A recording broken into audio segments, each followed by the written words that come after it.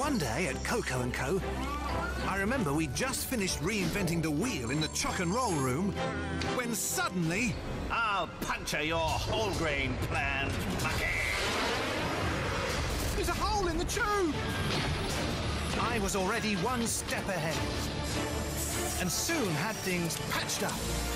My Choc 'N' Roll with whole grain was back on track. Champion, Coco! And that's part of the Coco Pops promise.